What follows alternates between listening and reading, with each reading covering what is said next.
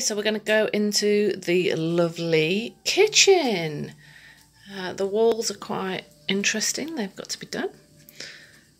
Our fridge freezer. Our temporary kitchen workstation and sink. Washing machine, tumble dryer. Bread bag. Simon giggling because he's working here.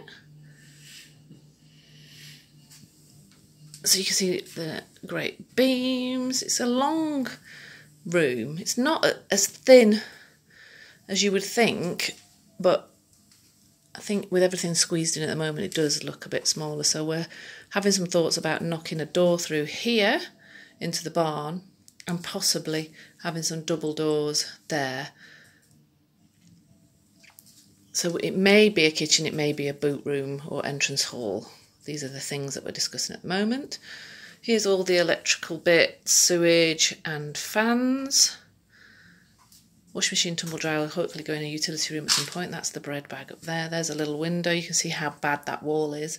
And we've got a guy coming to help us sort that out. In fact, we need to message him soon. There are all of our provisions. But lots of work to be done in here. This is a warming cupboard.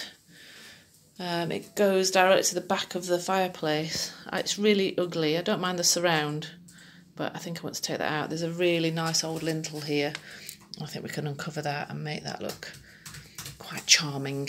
Anyway, we will see, but this is how it stands at the moment. Mess. Lovely concrete floor. I'm working on the concrete floor actually. I'll quickly show you.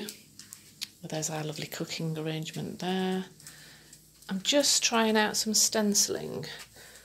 Uh, this is how it's looking. Now look at the cheeky dog there. He's just eating a pine cone and he knows it's naughty.